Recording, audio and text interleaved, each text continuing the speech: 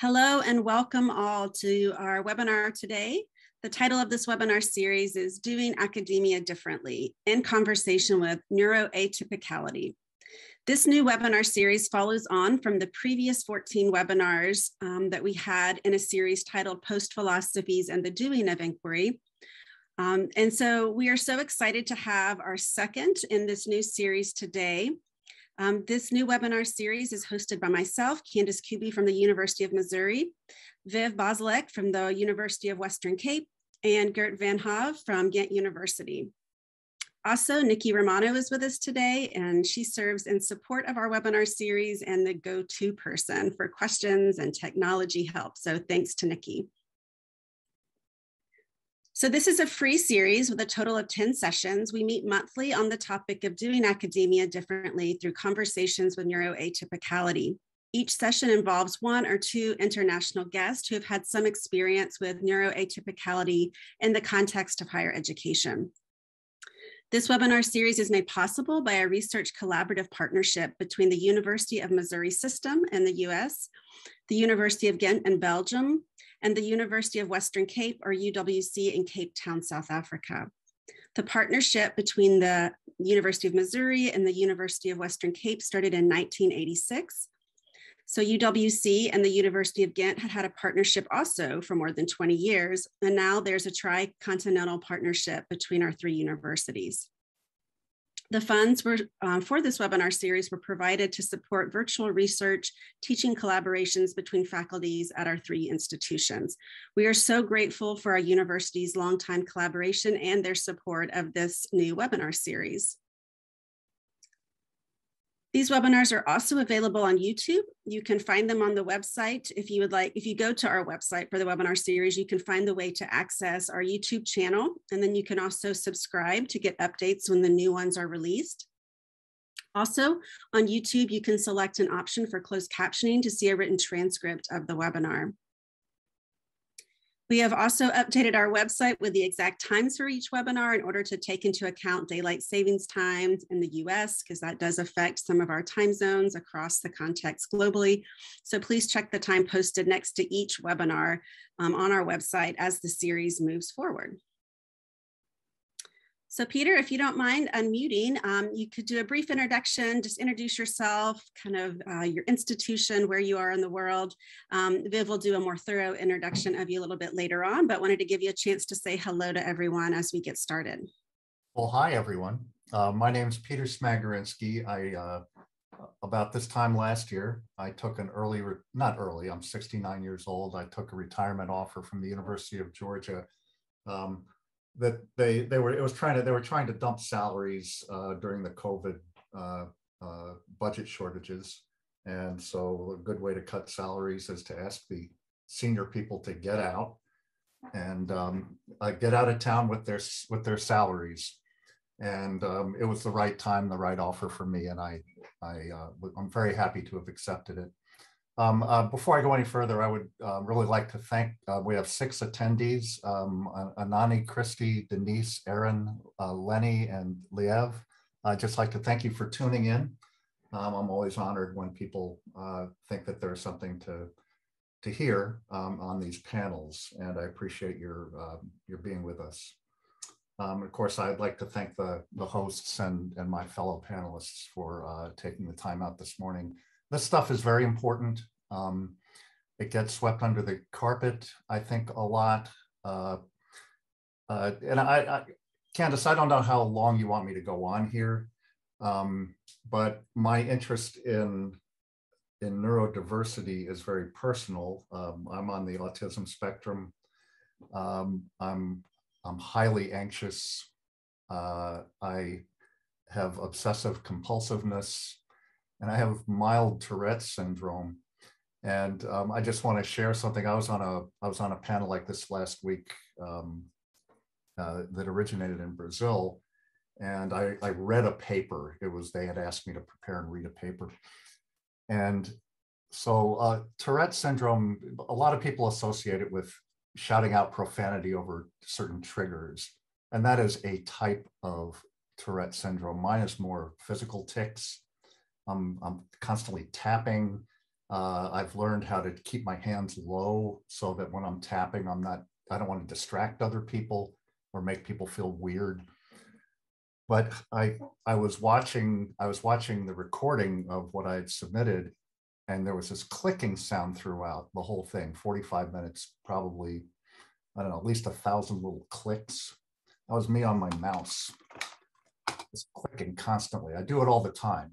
Um, I apparently even during my presentations. So I'm, I'm just used to being a little weird, um, a little different. Uh, I, I, hope I, am I'm sure that some of the some of these little things annoy people, but I really have learned there's a there's a phenomenon that I that I originally heard with respect to race, which is the idea of passing um, the idea that a, a very light skinned person could pass as a white person and not be discriminated against. And passing is something I think that a lot of people on the on these various spectra learn to do. They learn to look a little look a little less like they really are in order not to alarm or or or, or make people feel uncomfortable over these oddities in our behavior.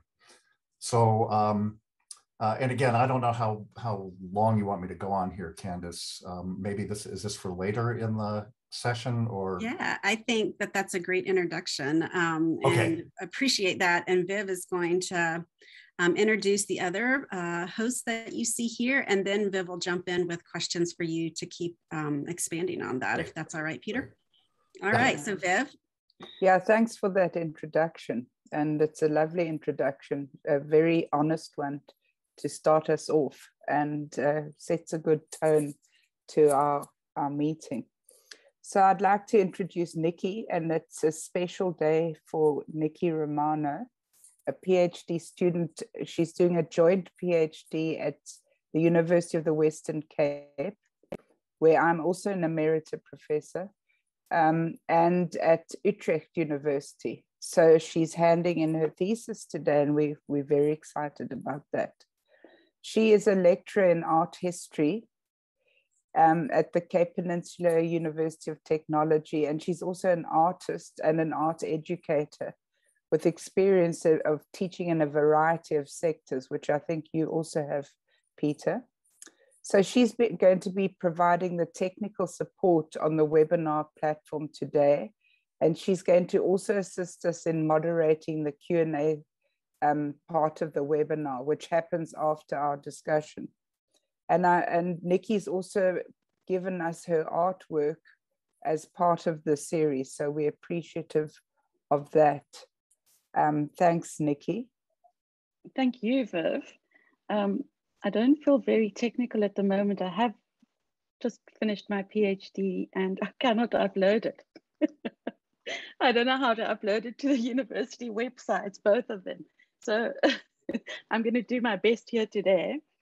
It's my lovely task is to introduce our um, three co-hosts, and I'm going to start with Candace Kuby, who's the Professor of Learning, Teaching and Curriculum at the University of Missouri and Department Chair and the Director of Qualitative Inquiry. Candace's research interests include the coming to be of literacies when young children work with artistic and digital tools, approaches to and pedagogies of qualitative inquiry when thinking with post-structuralism and post-human philosophies. She's also the co-author of several books, including Speculative Pedagogies of Qualitative Inquiry. And her scholarship appears in journals that include Qualitative Inquiry, the International Journal of Qualitative Studies in Education, the Journal of Early Childhood Literacy, and the Journal of Literacy Research. Geert van Hove is a professor in disability studies at Ghent University. And I'm going to introduce Geert differently to the way I did last time. And I'm going to say that Geert, having now met you in Ghent, um, is a lover of jazz, of wine, and basketball and his grandchildren. Viv is an emerita professor in women and gender studies at the University of the Western Cape. She's an honorary professor in the Center for Higher Education Research teaching and learning at Rhodes University.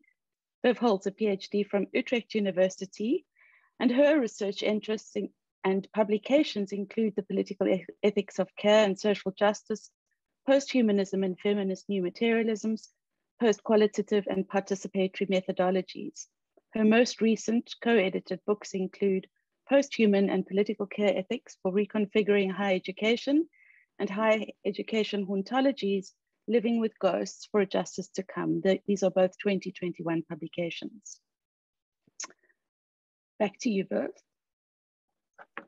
Back to Candace.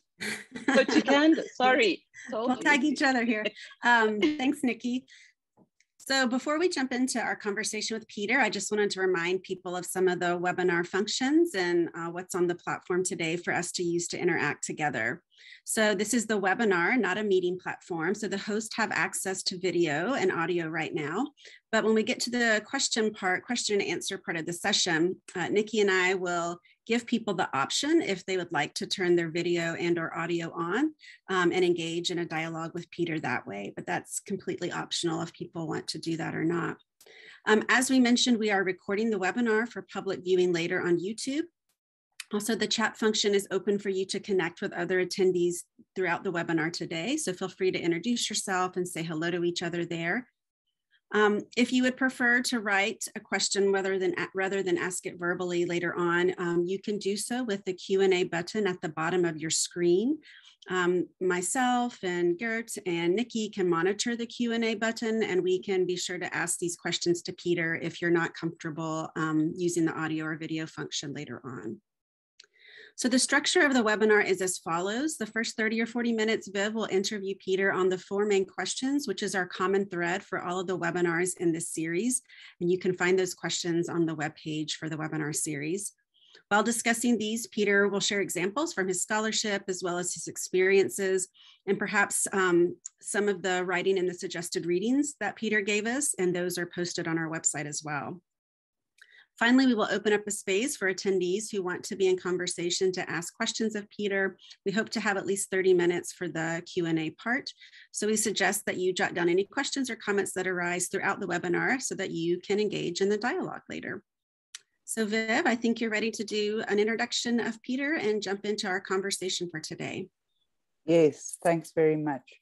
So Peter, this is the second time I've met you. Um, I remember um, the time that I saw you at AERA, you were giving a huge public lecture, and it was actually about neuroatypicality.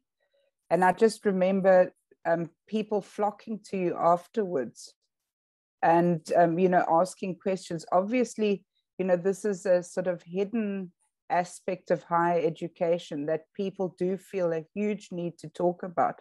But, you know, it's, it's gone largely unspoken.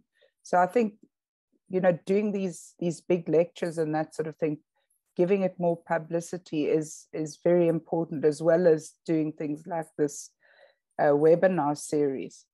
So we're delighted to have you with us. I've been following your readings for some time and um, you know the first one i read was confessions of a mad professor which really um, I, I shared with a lot of people. It, it made a lot of um, made a big impact on me um, so um, I just want to give a little bit of background about you. Um, Peter is a distinguished research professor at the University of Georgia. As he says, he's emeritus now, and a distinguished visiting scholar at the Universidad de, de Guadalajara, Jalisco, Mexico. I don't know if that's correctly pronounced. You'll have to correct my pronunciation. And um, as you've already noted, Peter, your, your interest in neurodiversity is a personal one and began with your recognition of you and your family members um, being on the autistic spectrum, along with other neuroatypical conditions. And uh, you've been very prolific in writing about it, including um, two edited collections, and I'll just read them out creativity and community amongst autism spectrum youth, creating positive social updrafts through play and performance. That's a Palgrave Macmillan. Not sure which year it was produced. Um, and co-edited with Joe Tobin and Kyung-Hwa Lee. Dismantling the disabling environments of education, creating new cultures and contexts for accommodating difference. And that's by Peter Lang. Now, I'm sure these are going to be available if we ever get to go to AERA in person again. but I haven't personally seen these books. Um, so, Peter, anything you'd like to correct me about or respond to there before we get going with our questions? No, you got uh, you even pronounced uh, pretty much everything right, and that's that's half the battle. So um, uh, I, I, appreciate the introduction. Um, I always prefer short introductions. Yeah. Because if you can't follow up and prove that you're the person who was introduced, people don't believe it anyhow. So uh, short is better. And if I if if you're going to be impressed, I'd rather have it be with the with what we say here than with what's on my CV. Exactly. Yeah. So I, I was just rereading some of your work about neuroatypicality.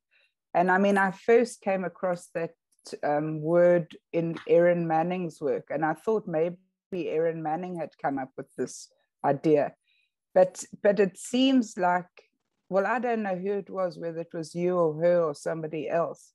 It seems like you sort of independently sort of um, decided to create this word for a particular purpose. And you have a number of other words. So, can you talk about that? Well, sure. Um, so first of all, I don't want to go around claiming that these are my words or that I coined them.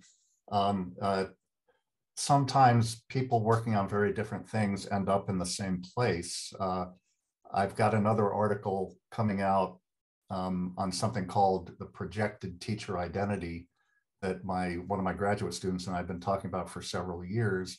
And we just saw someone just publish something using that very same term with a very similar definition coming up with a from a, a, a different field even. And so uh, I'm not gonna, I don't really, I, if I coined a term, it's extra normative, but um, I think one thing we lack is a common vocabulary. And I, I think that uh, there are a number of terms floating around out there that, that I, I hope that we can settle on. And I've actually started getting away from the term neurodiversity um, because it's it it's come to mean mental health broadly speaking. It, but that's not what it started out referring to. I think it, it began as a term referring primarily to autism. And I, I, know that there was one panel that identified neurologically um, grounded ways of being different autism, ADHD, uh, dyslexia, I think was one of them, and something else so, but then other people will say depression is a matter of neurodiversity. And so I've just stopped using the word. I don't think it means anything anymore. It's just become such a broadly applied term that I don't think it has much value because um, I, I, don't have experience with depression, but I know people who do. It's really different from being bipolar or being autistic. Um, I just had a conversation with someone yesterday who was actually very offended that ADHD was classified somewhere as a mental illness because she's ADHD and doesn't think she's mentally ill. Um, I've actually become very comfortable saying I'm mentally ill. I don't, uh, I don't, I have no problem with it. Um, uh, and I think one of the things that I've learned over time is that people are as much terrified by their own diagnosis and how other people think about it than they are about the way they really are. And um, so I, I think that the more we normalize the, the, the language around not being typical, the more comfortable people feel about not being typical. Um, as far as neuroatypical goes, um, there's a there's neuro, the term neurotypical is, let me get my term, yeah, neurotypical is actually a term used by autistic people to describe non-autistic people. Um, and so then I wanted a, I wanted a way to describe the people using the, using neurotypical. And I, I began saying neuroatypical, but the, the little A gets buried in the middle of it. And so I've started hyphenating it, um, dash atypical, just so you can see it. Otherwise, you read right through and you think you're, you know, you think you're reading something about the opposite of what you're referring to. Um, so just, just, um, uh, this is another anecdotal thing. I was on a panel for an association on, we're trying to come up with a neurodiversity, um, some kind of uh, position statement, I think, for the organization. We couldn't even agree on what it was and the committee disbanded um, because the definitions were all over the place. So I think the first thing, the first order of business is to agree on what you're talking about. And I can't speak to schizophrenia. I can't speak to, I, I know uh, bipolar people, but I don't know it well enough to really talk about it. Um, so, um, yeah, uh, I, I, I think that just agreeing on what you're talking about, I'm, I've, I've just become more comfortable referring specifically to the things that I'm referring to, like autism and obsessive compulsiveness uh, rather than lumping it all together under this big term that describes atypicality. Mm.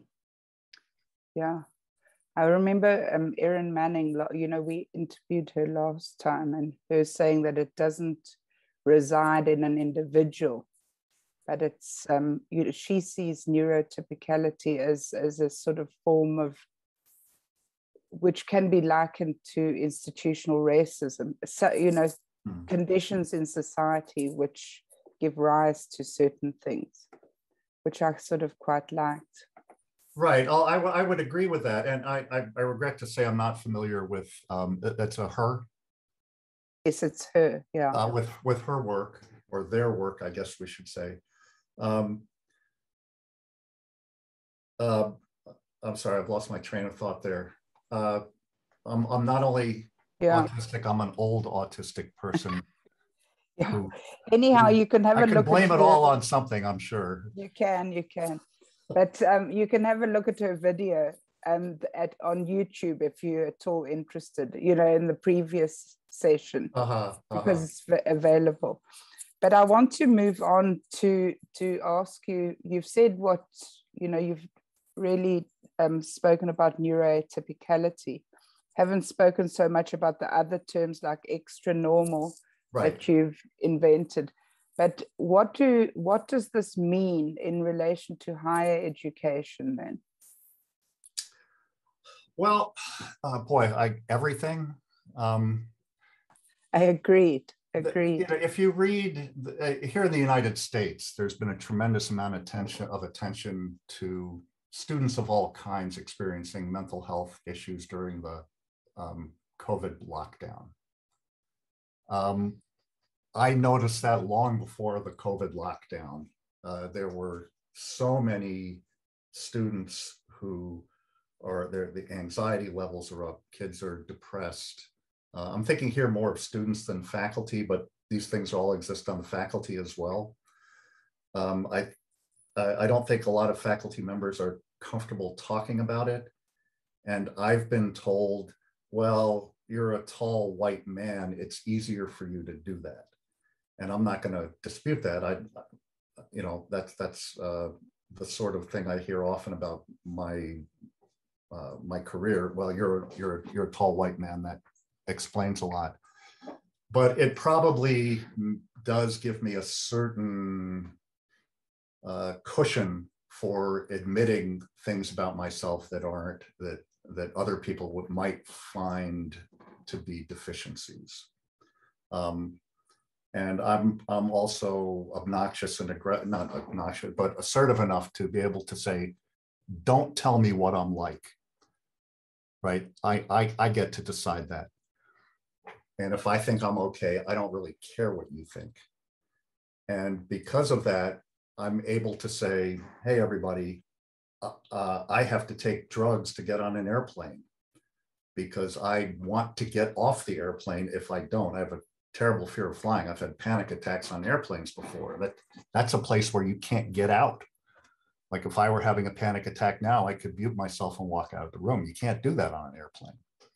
So I take, uh, I have to take um, what, they call parachute drugs, Xanax or Inderal for that. If I were, if I in front of a room full of people now, I would also be heavily drugged uh, with something called Inderal, which just it it lo- it's a um, it lowers blood uh, adrenaline flows in your body. It makes you less susceptible to that choking feeling and the heart heavy heartbeat. I've had a panic attack giving a public talk before. Um, it's scary. I actually thought I was going to die, um, but it was it was a panic attack, not a heart attack. And um, I've just what I found is the more I say that, the more relieved people are. I gave a talk at Penn State a couple of years ago on this topic, and I heard later from a guy who said, I have, I'm deeply anxious. Everyone's told me what I can't do because I'm deeply anxious. And now I've decided to apply for a, PhD program here. Just because someone up was able to say, hey, you can do this. It takes some work, but it does being, you know, say anxious doesn't prevent you from being a good, a good citizen, employee, whatever, good, you know, good productive person. So um, yeah, I, in addition to saying, I've often announced this at the beginning of talks. It's become kind of a, a boilerplate introduction of myself when I begin speaking, because it gives me a little more control over the likelihood of a panic attack. I've kind of, I've, I've, I've named it and I've put it somewhere. Um, but it also makes the people out there who are scared to death of giving a talk oh, maybe I can do it. Maybe there's a way if I if I don't mind taking uh, these these speaking drugs, maybe I can get up there and do this too.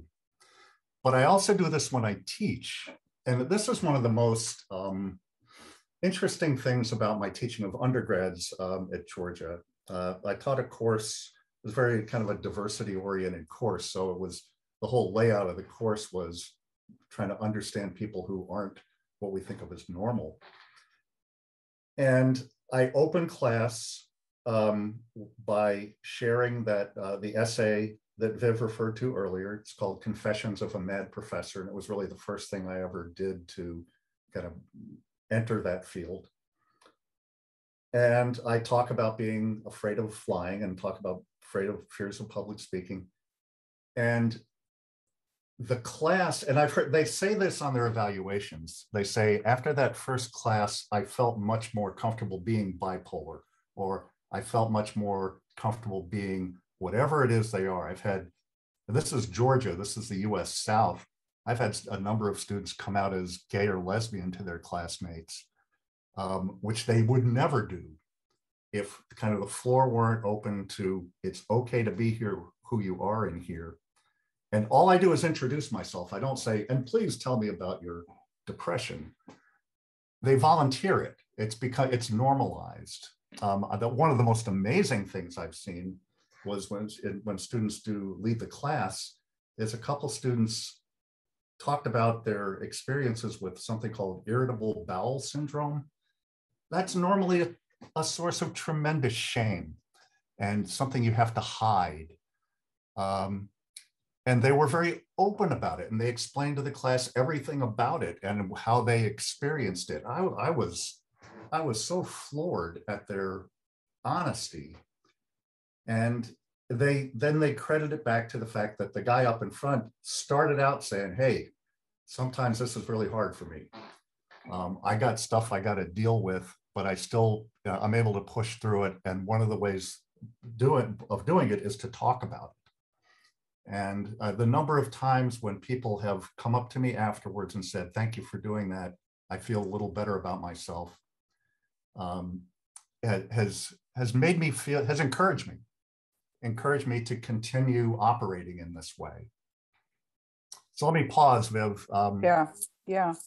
Well, I mean, because I mean, a lot of your other scholarship has been on totally different things. I know that, you know. Mm-hmm you, you're a Shakespearean scholar and you've written a lot about Vygotsky. I see you now applying Vygotsky to, you know, issues of um, neurotypicality, um, which you might speak about later. Yeah. But uh, so you've spoken a bit about what it means for higher education because, and in terms of your own experience of being as open as possible and and that's sort of giving giving possibilities for people to to actually feel okay about themselves.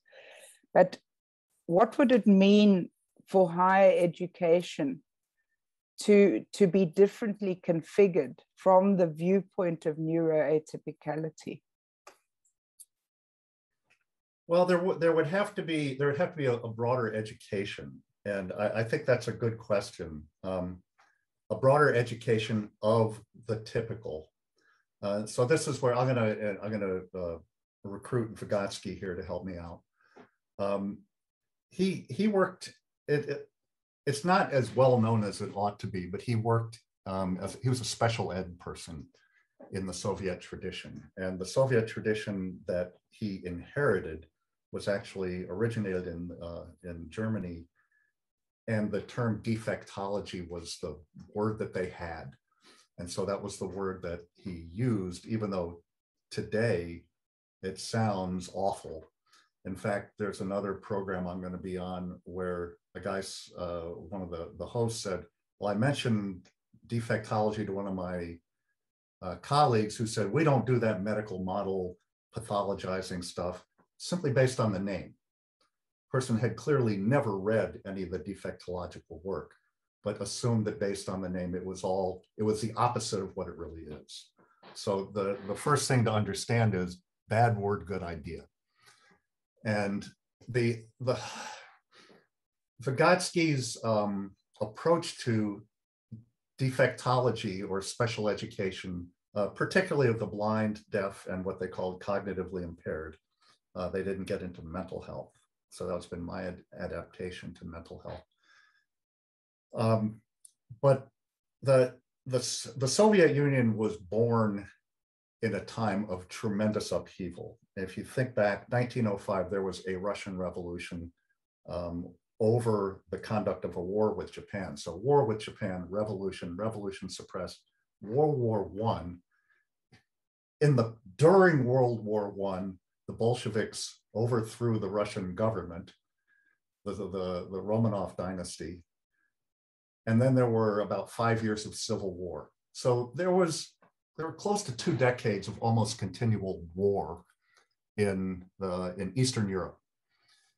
And there were a lot of child casualties who, you know, kids who had bombs go off near them. They were blind, they were deaf. And one of the, one of the ways that the Soviet Union tried to form itself into a new nation on wholly different principles, you know, go from a, the Tsars to the communists, that's a huge shift. They wanted to, education was one of the primary means. And so they, they instituted a mass education program that tried to take into account all these kids who'd been had bombs go off near them and who were who, in the word of the day, needed defectological attention. But the approach that they took was all environmental. it was never, well, how can we get a deaf kid to hear? How can we get a, a sighted, a, a blind person to see? It was, how do we make everybody else more sympathetic toward them? How do we get, how do we create environmental structures that enable the participation of people in, in, in productive cultural activity. And to do that, you need to educate everyone else, first of all, that being blind, the, the problem isn't being, isn't being blind. The term that, that he came up with, which I think is so insightful and so absent from today's thinking, is that there's something called a secondary disability, which describes the the dysphoria that people feel about how they're treated.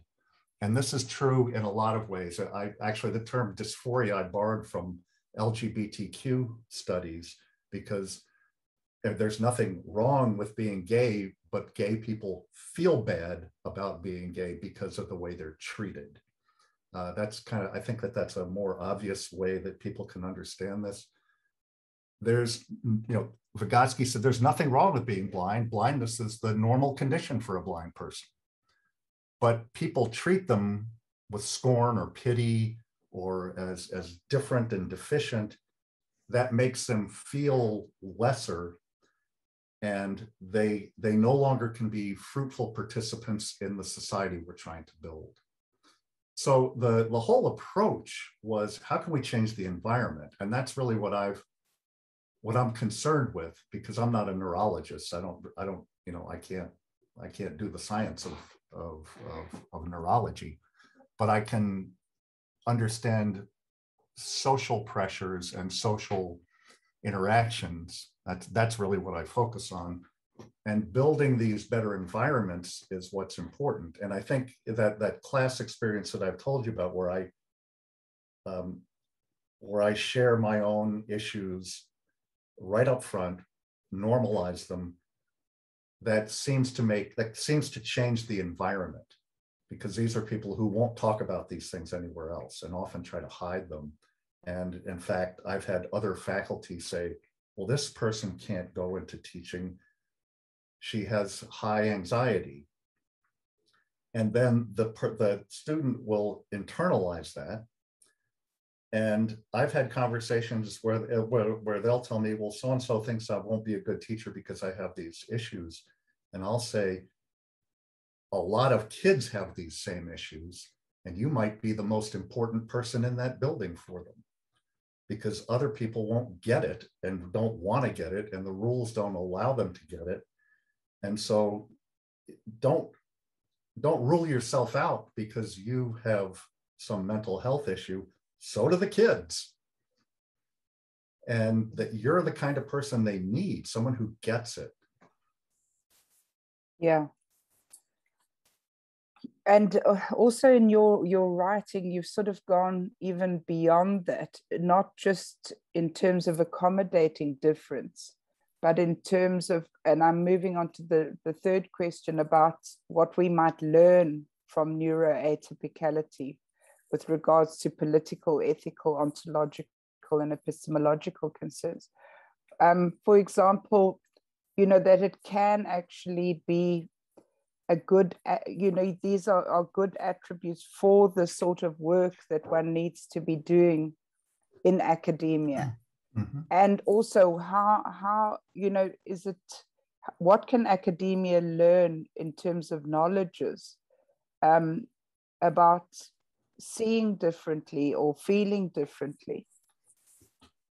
Well, um, I, I, hope I'm answering your question because I'm I'm thinking of particular incidents. So there was a faculty member in my college who uh, who was in special education, who teaches a course. It's it's got the, I I hate the name. It's sort of like abnormal psychology, and everything about it is pathological the disabilities, the uh, the disablement, the the dysfunction. It's everything starts with a dis, and um, I, I I can't imagine coming out of that course sensitive. I think you would come out of that course simply by the language that's used, thinking that there's something wrong with all these people, and that the idea of special ed is to figure out what's wrong with you and try to fix you up as well as as well as you can um, rather than saying maybe what we need to do is educate everyone else in the building. You know that's always missing. It's often individualized. Well this kid needs to fix this stuff. And of course these are the people with the fewest resources for actually doing that. The support never includes addressing the bullying that these kids experience uh, the disrespect they get from teachers, um, though even the way IEP meetings are run, it's all about how how screwed you up you are, kid, uh, and we're going to try to fix you, but don't get your hopes up. Um, it those are the people who need to be fixed. And so, um, if there's anything dysfunctional, it's the environment that makes these kids and, and frankly the adults feel like losers. So, so what do you propose? Well, I, I, think that educate an educational program would be good. I mean, that you know, again, this is almost right out of Vygotsky. It's blindness is not a problem of the individual. Blindness is a social problem. The problem with blindness is the need for re-education of the sighted. And so um, there, there are people who've done, uh, it, my, my background is as what we call an English teacher. And in the US, that's not TESOL, that's teaching literature, composition, and language. And you know, every, I'm sure that there's a Dutch version of this and a South African version of this, where you know, kind of your national language and heritage are, are, are studied through literacy issues and especially literature.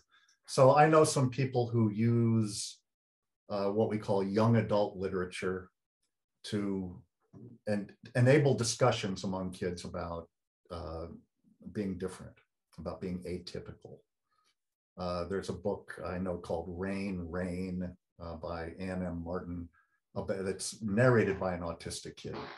Uh, the, there's a well-known book, um, The Strange Case of the Dog in the Night, I think.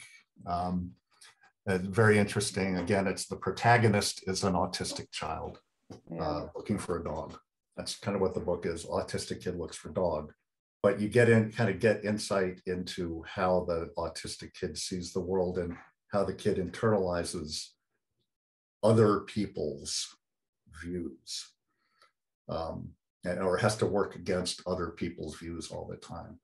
So one, one way would be to use classes like the ones I taught and include texts and maybe even themes about diversity.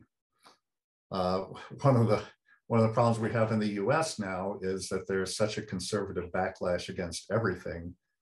Um, they're actually literally book burning uh, uh, initiatives in states like Texas because uh, to destroy books mostly about race, you know, critical, and if they think critical race theory is in there, even if they don't know what it is, we got to burn these things. Um, so I don't, I don't really know what kind of public support there is for this sort of thing, or if you know, if you tried it, it seems that here in the U.S. you try to do something that has any empathy in it, and people think that you're a bad person and trying to ruin society by being inclusive um, especially with race, especially with immigrants, uh, often with gender. Um, and I think that there are still stigmas attached to mental health that might um, uh, that that might work against an initiative, but I at the same time I don't see many people trying. And you know the my approach at the the approach at the University of Georgia is to provide counseling services to kids with mental health issues, which again pin the problem on the kid. They do nothing to address the setting, the, the environment in which their uh, mental health status uh, you know, plays out. Yeah, um, it is a huge issue. Mm-hmm. Um, I'm going to go, I'm conscious of the time and I want to give people a chance to interact with you, not just me. So uh-huh. I'm going to go on to the last question. Um, I don't know if, I'm sure in the States there's been a lot about decoloniality and post coloniality debates in higher education. Mm-hmm. Certainly in South Africa, we've been extremely conscious of it. So, do you see any intersection between, um, you know, issues of neuroatypicality and um, these sorts of debates and what needs to be done in higher education? Well, um, I'll, I'll, relate it again to something very particular that I know. So um, when Joe Tobin and Kyunghwa Lee and I were having the this series of meetings that produced our book that I think came out in 2018, uh, Joe has Joe studies preschools and stu- has studied preschools of the, he studied deaf preschools, and that interest has led to him having a number of deaf students. And so they were at our meetings with sign interpreters. Um, uh, it was it's a very fascinating environment to be in if you're unfamiliar with it because the, the, there are certain uh, protocols that you have to be attentive to. For instance, you have you look you don't look at the signer, you look at the speaker, even though, so the sound's over here, the, the sign is over here, and you just, you just have to reorient who you, who, who you pay attention to. Um, in that setting. But um, yeah, so one of the one of the deaf guys, and he one thing to always keep in mind is that there it's almost it's unusual for anything to exist in isolation. So as I said before, I have uh, I'm I'm on an autism spectrum, what they call high functioning. Um, the uh, obsessive compulsiveness and anxiety actually make me very a very productive scholar because all of them are focus oriented. Um, and all I, people have told me my whole career, you just seem to have an extra gear. There's something you can, you know, we're trying, we're going 70 and you go by us at 90. And I think that it's this confluence, this intersectionality of traits that make me mentally ill, but also make me, uh, it's a huge, I've called it the Asperger's advantage. Um, I've got, I, I can see details that other people seem to miss. And I, I don't say this in terms of bragging, bragging because I'm saying I'm mentally ill and that's why, and that helps me in my job. Uh, you know, even though I'm disabled and all these dis, dis other things. But one of the deaf guys argued very strenuously against cochlear implants as an act of colonization. You know, you're trying to colonize us by making us hearing people. And uh, I've, of course, I've never been, worn one, but apparently it's not terribly good sound. It's very echoey and it's, you know, it doesn't, it's not like the way we're hearing each other right now. It's, it's a kind of distorted sound. But the whole idea that hearing is preferable to many deaf people is offensive and a, a form of colonization. You're trying to take over our lives with your hearing stuff. And it, you know, if you're a hearing person, that's I remember the first time I heard opposition to cochlear implants, I thought, you mean, but then you could hear music. I mean, then you could hear birds. You know, it, to me as a hearing person, it didn't make any sense until I engaged with deaf people and and heard their the pain they feel over being considered defective and in need of normalization. Um, so uh, I, I, can't even remember your question now, but the um, oh, it had to do with the colonizing thing. Yeah, yeah, yeah. That, that's right. I think that there's a tendency of the so-called typical to want to colonize the atypical of in many ways, and it could be racially, it could be gendered, um, it could be an, it could be uh, any number of things. And uh, so I do think that there is the decolonial scholarship can inform an understanding of how to take the perspective of someone who's very different from yourself. And that's a, to me, that's a real key thing. Um, I, one of the one of the limitations of autism is you, you lack natural empathy. So I definitely lack natural empathy. I can't feel what other people feel, um, but I can I can work at trying to take their perspective. So I have kind of artificial uh, uh, alternative ways of taking on an empathic appearance or, or, or going through an empathic process, but very deliberate one, as opposed to having the natural inborn ability to feel what other people feel. That's not available. So I think that this sort of deliberate perspective taking can help even someone like me rethink what it's like to be someone else and I can't re-experience it, but I can listen. And listening is a big part of that. Listening to how other people describe their uh, experiences with a difference that I that I've never had, and therefore have a difficult time understanding or feeling. And the whole this whole the the I've become very interested in emotional life, and um, Western academia is built on a rationalist model that makes emotions seem uh, frivolous. And I would argue that emotions are foundational and that rationality is often an illusion. Uh, I, I, I, borrow from a guy named Jonathan Haidt on this point. Uh, he refers to the rationalist delusion of Western of Western thought because it's it's muffled the role of emotions, at least in in the philosophical conception, even while they're still constantly at work. And that's all that you could also take that to be a gendered thing where the males who run academia or who have historically run academia think that that's women's stuff. Yeah. You've said so many interesting things. And um, I'm, I'm wanting to open it up now because we've uh, got about 30 minutes left. Okay. If we take, if we shave off about four at the end for sort of talking about the next, our next um, part of the series. So I'm going to ask Nikki and Candace and here to, to look at um, who might be wanting to engage with Peter. Yeah, thanks, Viv. So I think Nikki is um, giving people the option if they want to join in with their video and or audio. Um, people, you don't you don't have to accept that invitation if you would prefer not to. You're welcome to stay without video and audio.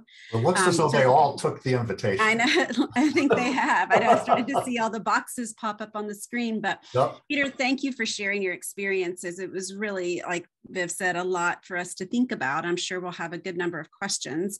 Um, so I would suggest that if people do just want to type a question in the Q&A box, myself and Nikki, we're happy to read those aloud and make sure they get into the conversation today. But if you're choosing to have the video and audio, then I would um, encourage you to use the, the little reaction button that allows you to raise your hand. Um, and that way we can call on people um, and just be notified that you do have a question that you would like to ask. Um, so we'll give people a little bit of time here. Um, we can check the Q&A box to see if we have anything there. If not, if somebody has a question and wants to put their hand up, feel free to go ahead and we'll um, engage Peter in some dialogue with, with us all and just understand, I'm looking at the chat box. I'm I'm limited to English. Um, there's a, a, while while we're waiting, I'll tell a, I'll tell one of my linguistic jokes, which is um, it, you you may you may know that the word trilingual refers to people who speak three languages, and bilingual refers to people who speak two languages monolingual refers to Americans. We only got one language. I see that Geert's hand is up. Do you want to start okay, us off? And then maybe Denise can follow up with our second question. So Peter, thank you for your answers on the questions. And I keep on watching and being jealous about your shirt at the same time. Um, I would like to confront you with something that happens at the moment in our university in Belgium. Mm-hmm. Uh, last month, our university decided to become a more inclusive university, not only for students, but also for staff. And they will start with a special network for staff with so called abnormalities, disabilities, whatever words you would um, give it. And uh, one of the reasons why they start this network is because uh, there are a lot of complaints about staff who are, for instance, very good researchers, but not that good communicators in coaching teams or in taking leading positions. Mm-hmm. So our rectorate is very nervous about it and they hope to solve the problem by installing such a network of staff members who are outing themselves uh, as being someone with a special characteristic or whatever you call it. Uh-huh. How, how, how, what do you think about this action? Well, I, I, would have to see what it looks like in actual practice. I, I would not want to force people to go public um, with because some people still are are reluctant to um, to take that role, uh, and and you know there there are so many built-in issues of shame and and embarrassment and feelings of inferiority that come with uh, acknowledging ha- having what a lot of people consider to be a disability. So I, I would be very careful about how how those confessions, if you will, are um, are solicited. Uh, I I I do think that it's that it's laudable that they're trying something. So that you know, I think that there is uh, there's praise to be uh, distributed just for making or recognizing there's a problem and trying to do something about it. Um, I would say my own experiences as a um, as an advocate through my own um, revelation of of of how I'm how I'm made up has been good for me in a very local way, and I know I've I've talked to various students who aren't my students who who hear that I can that I'll listen to them. So I, I think it depends on what they do with it um, and and how they go about it. Uh, you know what what's going to happen. Like well, let's just say here with our panel, let's say Candace says, "I'm bipolar," and Viv says, "and I'm schizophrenic," and and Geert says, "I'm depressed" or something like that. Does I don't know if that's enough. I think it needs to be developed into a, a something informational and educational and that it's not just a bunch of facts but but understanding the the feelings because it's these feelings of shame it's these feelings that you're you're that you're carrying a stigmatized way of being that i think make it difficult for people so I, I think the goal would need to be to comfort and reassure people that what what makes them different doesn't make them worse. Does that make sense here? Thanks. I will take the message. Okay. And you know, if I, if if if that doesn't make sense, or if you want me, if you want to push on it, go ahead. Uh, I've never seen a program like that, so I don't, you know, I don't say, oh, you should see how they're doing it at mm-hmm. BITS or something like that. Um, okay. I, I I just don't I just don't know. But um, I, I, hope that's at least a, a start. And I think that kind of anything we do here is all is kind of provisional and a start, not the answer. Okay, thank you. Mm-hmm. I see Denise's hand is up. Yes. yes. Um, hello. Uh, Hi. Hello, Peter, and hello, everybody. Peter, thank you so much for your presentation. And I want to say that I really enjoyed the reading so much. Oh, good. And I learned a lot from them, both the one about Vygotsky's defectology and your autoethnographic confessions of a mad professor. As I was reading the latter one, it made me think um, of a PhD student of mine who has really been struggling for a number of years. And up until now, I had ascribed that to a kind of conceptual or analytical inability or weakness or lack of direction. Mm-hmm. But on reading your paper, I thought to myself, I wonder if at the basis of that, there could not be some kind of neuroatypicality, whether it's something to do with anxiety or something else um, I don't know what. And so this, of course, could be the case or not necessarily so. My question to you then is, as, as a supervisor, um, I think you call it advisor, yeah. of, of a graduate student, what does one do in such a case? Um, how does one go about trying to talk to such a student to perhaps uncover if there isn't something else besides what I had previously thought? Well, that's a great question. And I, I hope I can just uh, give an illustration. Um, actually, I've had a number of um, graduate students with a, a couple of bipolar. Uh, one ended up doing her dissertation on, uh, she, she, she came in wanting to do a kind of standard writing assessment study, but uh, the more I talked to her, the more I realized that her kind of greatest interest was kind of getting to the bottom of her own bipolar condition and understanding other people. And she actually studied my daughter, among other kids, in a study of young women with depressive uh, conditions. So I, I think I think one thing to do always is to listen. I can't emphasize too much the importance of just listening to people. Uh, and and if I hadn't listened to her, she wouldn't have done that dissertation. She would have done it on a on kind of a standard topic. Um, I had another student who was clearly there was there was something missing. I guess I would say he he couldn't remember anything. Um, you you know you'd give him directions on something and then he would do the opposite. But he was not dumb. You know he was a smart guy, but there was something wasn't working. And I learned that he'd been in a car accident as a teenager, he'd been in a coma. Um, uh, actually, his father had left the family while he was in a coma.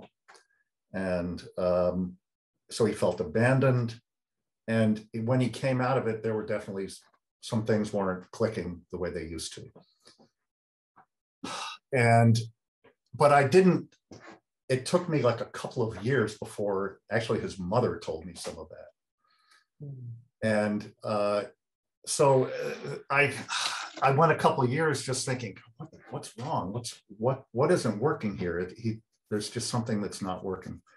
And so once I learned the nature of what ailed him, I I said, if I'm going to keep advising you, there are a couple things you have to do. You have to go up to learning disabilities. We have an office on campus and get support, um, both for, uh, uh, for instance, he he wouldn't take notes at meetings because he thought it made him look dumb, and then he'd forget everything.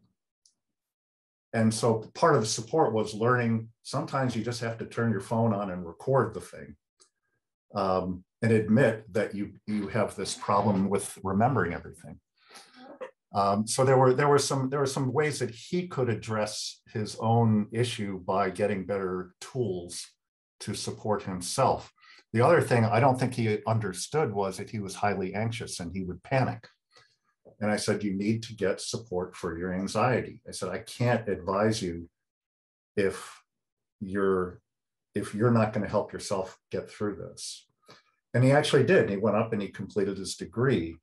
Um, and the other part was he needed an environment that that respected him and didn't didn't pathologize him when he was when he did things wrong. It was how can we help support you get through this um, this doctoral degree and then a career that's going to make the exact same demands on you. So it was a combination of uh, and this this is also very Vygotskian, by the way. Vygotsky never denied that these things are there. He he had a very serious interest in neurology, but the his emphasis was always on the environment. The you know the how the the how can we change other people? I can't say I can't emphasize that too much. How do we change everybody else? Not how do we fix the, the person who's different. Um, and I I realize I'm also saying he needed support, but that that I think is part of a supportive environment is to is to give is to lead the person toward means of support that are going to help them get through this. So um, Denise, I don't know if I've answered your question, but I would I would say that at least when I came across this with my own in my own advisement of my own doctoral student, the most important thing I did was listen to the people who could help inform me and then try to work with the student uh, in the in the context of what uh, some some serious cognitive issues he had that that were the result of uh, head trauma. Mm-hmm. You can't pretend that's not there, um, but you can act differently around it. Um, Peter, thank you very much. You've you've been very helpful around giving support and listening, but my problem is sort of with identifying the problem, if there is one, mm-hmm. and helping the person to identify the problem if there is one. You know, how, how do you do that? If the person is quite well guarded. Yeah. Well, I, I don't and Denise, are you are you in South Africa? Yes. Okay, so I, I've, I've only, I've only spent three weeks there. I'm, I'm all, I'm a, I'm a tourist at best. And I don't know, I really don't know the mental health situation there. Um, I would, I know that it's becoming more, it's becoming increasingly uh, acceptable to admit that here, even though we're not, we got a long ways to go, just because it's in the news all the time, all the, all the people seeking mental health support and the, which has exposed the inadequacy of the services we have here. Again, though, those are all directed to the individual, fixing the individual. And um, uh, that there is a role for that. There is a role for counseling. There is a role for medication. There is a role for these cognitive supports. Um, I wouldn't rule out anything if it if it helps. Um, but it, it sounds, Denise, what I'd say is you're you're on the road um, because you you you're not just saying this kid's a loser or this kid's dumb or this kid's whatever. You're saying I think there might be underlying issues. I wonder what they are and how we can um, work toward finding uh, a, a resolution that helps the student function in this setting, which is the setting you find them in. Uh, again, I don't, I, I can't, I can't solve a problem of a person I don't know in in this medium. But I, what I would say is that you're on the right track, and that, and the the the destination is not, you know, it's not the Wizard of Oz. You're not going down a, a single pathway. You're, it's a very open, it's a very open-ended problem that you're getting into. But I'm I'm happy to hear that it's something you're interested in working at. Thank you very much. I, am wondering whether to um, send this person a copy of your writing. I actually that's that's been done, and I I'm that's a, it's honor it honors me to think that that would be that would help.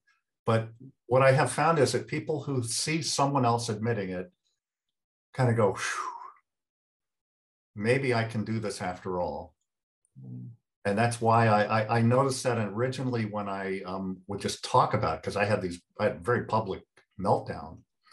Uh, gave it, I was in the I was a minute or two into a conference talk and I fell apart. I had to leave the room in my in my own talk.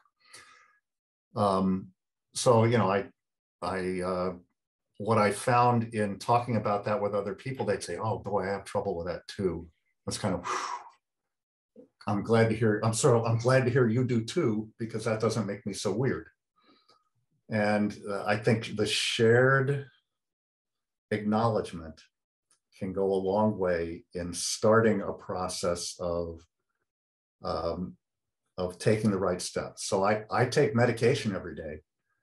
You know, I'm not going to pretend I'm just doing this uh, through sheer acts of will. I, I take something called Paxil, which really just takes the intensity down uh, uh, uh, a few levels. And then I take additional drugs for speaking. So, you know, maybe medication is what this person needs. I don't, I don't know because I, you know, it's not a case I can see, and I'm not a doctor. Thank you very much indeed. Mm -hmm. I appreciate that. Mm -hmm.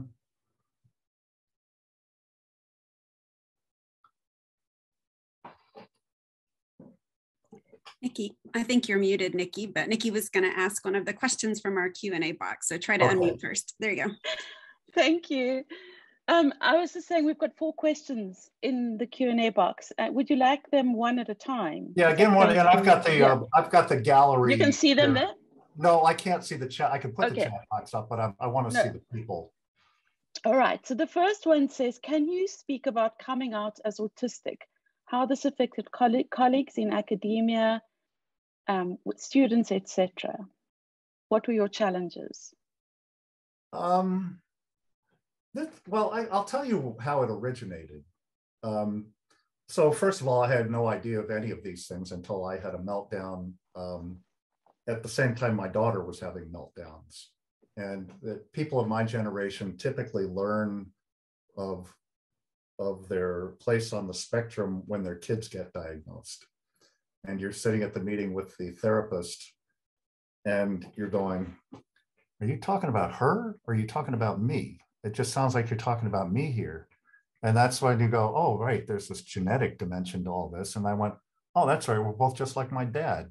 You know, so I think that there's a, um, these acknowledgments can be, uh, can take time. I had a, I had a buddy whose son came home from college his freshman year uh, after having had a bipolar meltdown.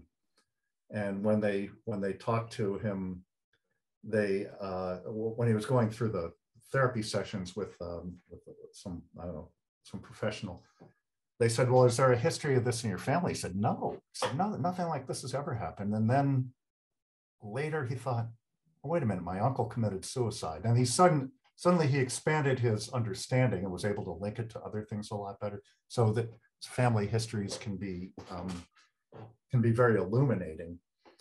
Um, but I, I, I wrote, uh, I review a lot of articles for journals, and I, uh, actually, a fellow in the uh, in Australia, Allan Luke asked me to review an article for one of the journals he edited, and the person used a lot of pathologizing language about, um, I can't remember what it was about, but pathologizing language when it came to mental health issues. And I said, if I can do accomplish anything in this review, it would be to just let the author know of how offensive that language is to someone like me who's on the spectrum and blah, blah, blah. And often, you know, you send this review and you never hear anything back or, you, you know, it kind of goes into the void. And Allan wrote me back up within a week and he said, Hey man, you got to write about this. I said, you can't let this go. He said, this is, this is big. And, I, and I'd never thought about writing anything like this before. And I hadn't done much autobi- autobiographical writing. And so I thought, well, let me let me see what this looks like. And I wrote it. Uh, in about a week, I had the basis for the article on is the Confessions of a Mad Professor. And one, I'll, I'll tell you something interesting about the review process of that one because I sent it into Teachers College Record, and they got two reviews. One said, "This is fantastic, printed as it is," and the other one said, well, this is interesting, but it's not research. This is a research journal. This is a story. You can't how's this research? And so I got it back and I worked on it. Unfortunately, my editor, Lyn Corno, was very, I think she liked the essay, but was trying to find a way to justify it and um, justify it as research. And so when I resubmitted it, I called it autoethnography. And that magically turned it into research. So that's that's part of what you got to do. You got to get the right word in there. You got to get you call it the right thing and uh, that that helps. So now then it became an autoethnography instead of just a kind of memoir or reflection or something like that. Um, so uh, I, I, there was a I was telling that story for some reason. Um, Nikki, what what was the what prompted that? It was um, how it was your decision to claim autism as mm-hmm. a mental oh no sorry it's uh, um, let me go back. It's i'm reading another one now. It was asking what your challenges were to colleagues and students in oh, coming out okay. as someone so with autism. I had been encouraged. You know that that helped. I'd been encouraged and i'd and i'd already talked about it informally in conference hall corridors with my students and that sort of thing. And uh, i mean i had to after this meltdown i had to miss a month of classes um, and so my students knew that something weird had happened or something unusual had happened for me to miss the last month of the semester. Um, and so it was it was kind of out, and I got some very interesting. Um, one of the one of our department uh, office managers and people used to call receptionists or secretaries gave me an article on how to have more confidence as a speaker and so, you know, people were give, trying to give very sincere things that were very off. Uh, you know, you get all sorts of advice. Well, you, this guy lacks confidence. Well, if you know me, you know I don't lack confidence. Um, but and and that's why falling apart while giving a talk was so traumatic for me. So wait a minute, I'm this isn't supposed to be me. You're not supposed to fall apart like this, but I did. Uh, and and so um, if I if I could just go back to this idea that it's so important for people to understand what all this stuff is, and uh, unfortunately, in higher education, there are often people who want you to fail and will use you know your your your your colleagues who see themselves as your rivals want you to have problems. And I would say that I ran into just as many people who took advantage of it as a way to uh, undermine my status, uh, as there were people who thought, hmm, this is interesting. And uh, there were also people like I, I, we were talking about a multicultural environment, and I said, well, what about what about creating what about mental health? And uh, actually, a, a lesbian in my department said, well, how's that multicultural? You know, a person for whom multiculturalism is designed to work on behalf of. And I said, well, you have to change your how you act around atypical people. That's a cultural issue. How you act around people is part of the culture. How, how could it not be? Um, and I think that there's a little greater. So I started advocating in my department for when we talked about inclusion, that we were including more than just people of different races and different genders uh, and, and, and social class issues. Those are kind of the big three of inclusion uh, and started thinking more broadly about the number of people with mental health issues, of whom there are many. It's just that you can't see them because people are hiding them all the time or, or, or have been bullied into not wanting to admit them. So, Peter, we have three other questions. I'm going to try to see if we can get to them before we okay, end today. So, our next too much. our next one is um, I'm curious about your decision to claim autism as a mental illness rather than a different genre of human being. Would you mind speaking to this idea a bit? Uh, well, um, that, that's a good question. And I, I would, um, I think I was using the language available at the time I wrote the, you know, the different papers as they've been coming out over the last decade, I guess.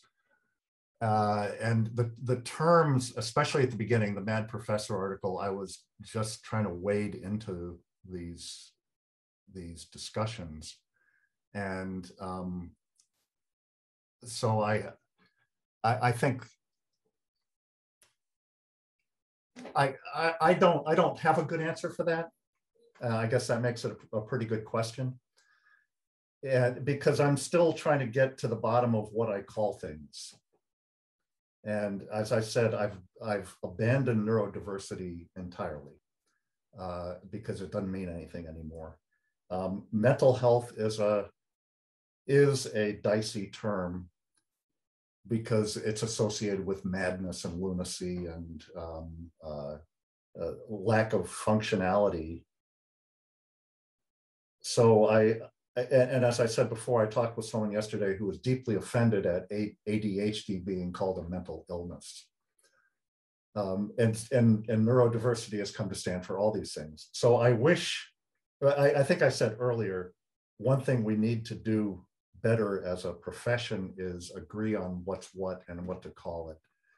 Uh, because otherwise, you know, you'll have neurodiversity meaning everything uh, and, and therefore meaning nothing and um, you know mental I've, I've i've i've struggled with the whole idea of what mental health and mental illness are. And i i can't say i've ever really arrived at a satisfactory set of terms. So i i encourage uh, i don't i don't know who this the questioner was but i encourage you to help us arrive at a better way to talk about these things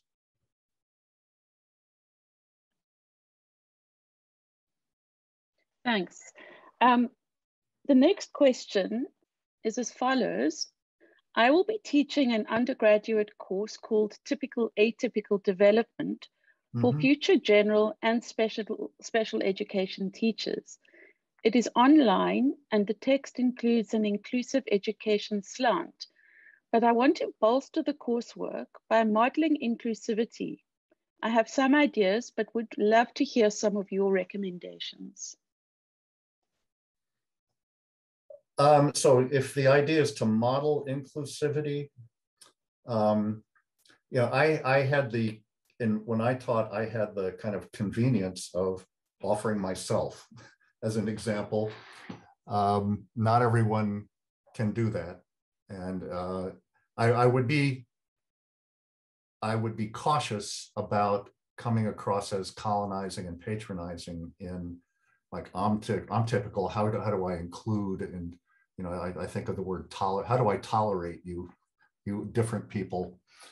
Uh, I think that there's a there's quite a, that's a perilous and, and tricky line to walk um, between being that colonist and being a genuine, genuinely supportive, empathic uh, uh, co-traveler.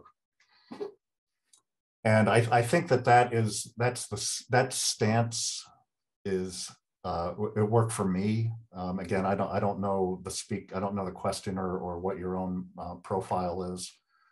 Um, but it, if there are ways to enable the class to listen to speakers who speak on behalf of of the of the condition that they represent in in such a way that people are that people listen i think that that would be a start. And i i don't know i don't I, I don't actually don't know the location of the speaker either. I don't know what how that is supported contextually. Like institutions have to support these things too. Um, it, it's hard to do it if you're the only one in the only one there doing it. But um, yeah I, I i would probably need to know more about your situation to really give good advice other than to try to get first person accounts whether you provide them um, I, I, I, you might guess I'd be reluctant to say, okay, all the bi- bipolar people raise your hands and tell us what it's like. I don't, that's not going to work. Uh, so, so the questioner has put in the chat that uh, I'll read it. I do identify with various marginalized groups, and we'll begin there with sharing of myself.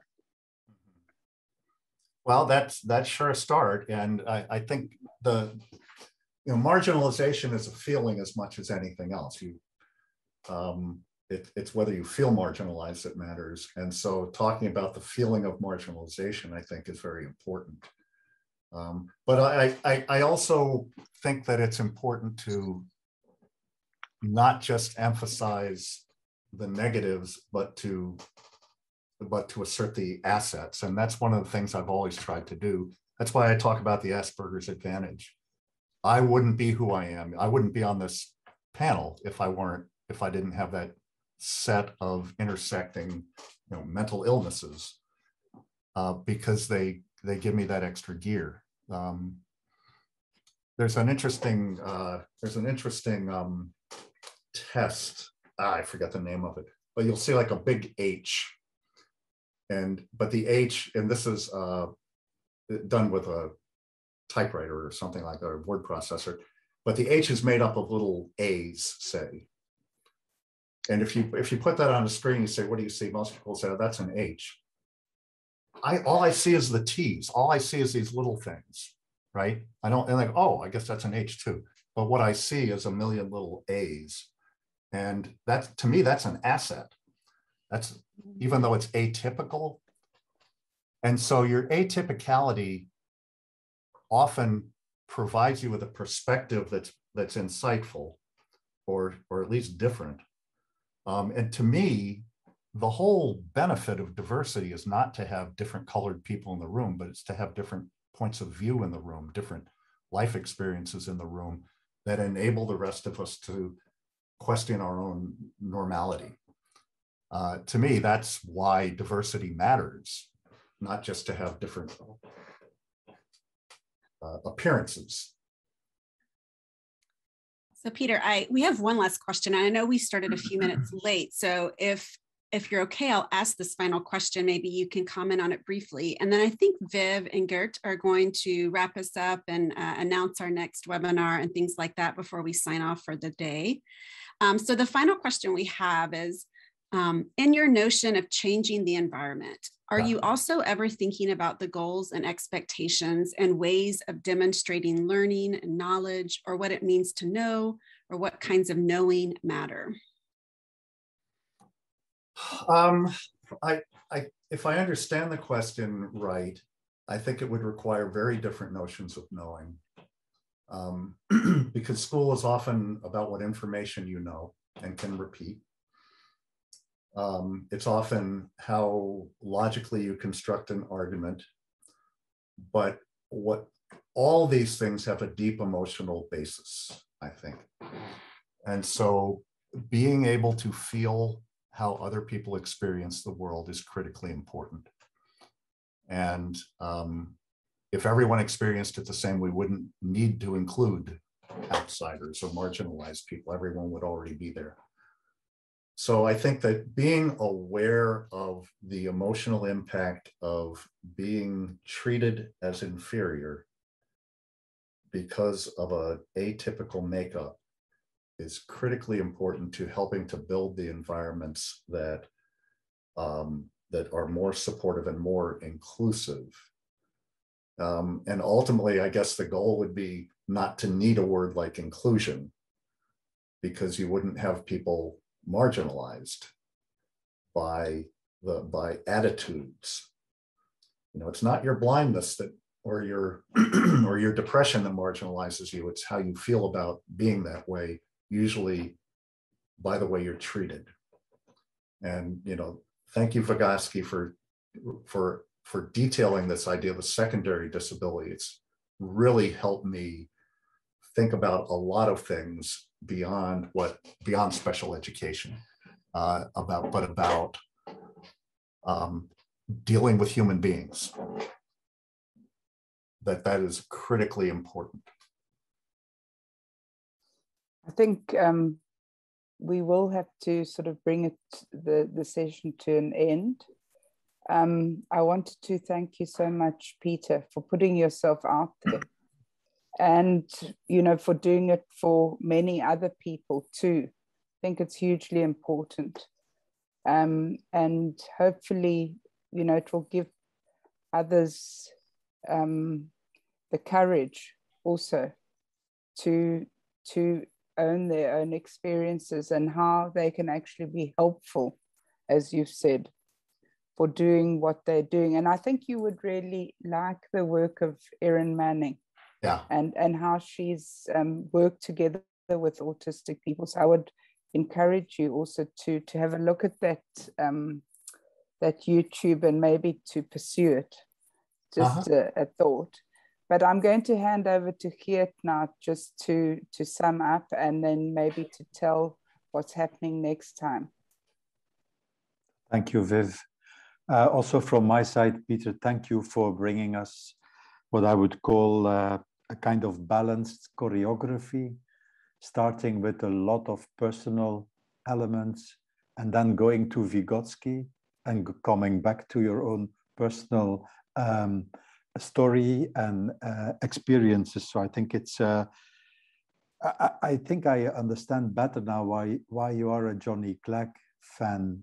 Um, I think also Johnny Clegg was a very complex person, being a musician, but also if I'm right, uh, an anthropologist who was trying to to help people to bridge between music styles and to make sure the personal and the cultural was was was was brought together. So I I think I I I understand a little bit uh, about your fascination um, uh, connected to uh, to Johnny Clegg. I also want to thank the audience of today for being there and for asking questions. Um, it was a little group, but I think it was a good group. Uh, little groups are always the best groups. Uh, so this Thursday group was a very good group. And for next month, uh, we prepared a new session uh, on December the 16th, close to, uh, to Christmas. Um, and there we will meet uh, Dr. Leni van Goidsenhoven and Professor Elisabeth Schauwer. They are both in the audience today. And I think they are preparing very thoroughly uh, a kind of uh, introduction for us next month. And I can, I can tell you that um, they are both wizards in combining um, a very warm um, um passion for humans uh, with a post-human uh, philosophical uh, way of working and thinking.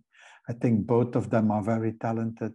Uh, um, uh, Leni started like uh, Peter today from a, a literature studies and cultural studies, and Elisabeth once was trained in an almost defectologist environment uh, in a faculty of psychology and educational sciences and um, escaped from that uh, environment uh, staying but but stayed at that place um, making use of disability studies and post-human philosophy so for all of you who are here today we hope to uh, meet each other again next month and if you have friends or family that are interested in these kind of uh, sessions, um, spread the word and bring your friends and colleagues with you for next session. And um, I hope between now and then um, you can stay safe because here in Belgium we have the fourth wave of COVID. I don't know what wave you are working and fighting uh, against. So please stay safe and take care for each other. Thank you. Thank you, Peter, so much. And, and thank you all. Thank you. Thank you for the organizers and uh, and and the folks who dropped in. And um, I, I really appreciate the opportunity to to visit with everyone today. Bye bye. Thanks all. Bye bye. Okay. Thank bye. you.